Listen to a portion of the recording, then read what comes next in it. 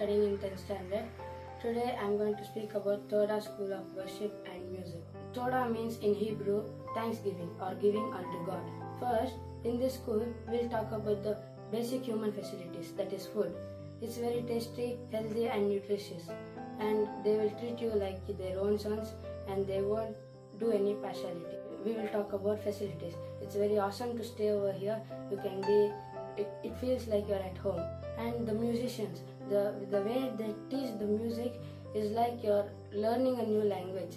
They teach new tricks and uh, shortcuts that are very easy to learn and adopt in your own life. Teachers are very awesome.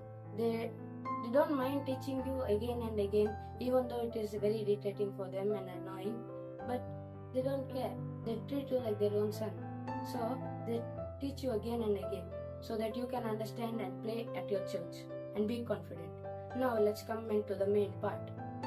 It's about the devotion. Every day we have devotion. Every time I have devotion personally, I experience many encounters.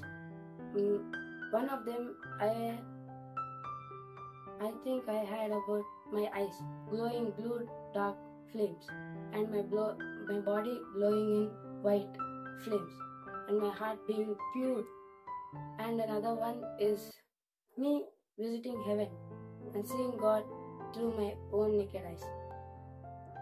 And the third is the gifts from the God. It's all about purity. The encounters that you have is all pure. It's not your imagination, it's not nothing. It's all from the Holy Spirit that you get, it is delivered. There, it's pure salvation over here. I always agreed to you to please come over here. In the name of Jesus, I give my testimony. Thank you.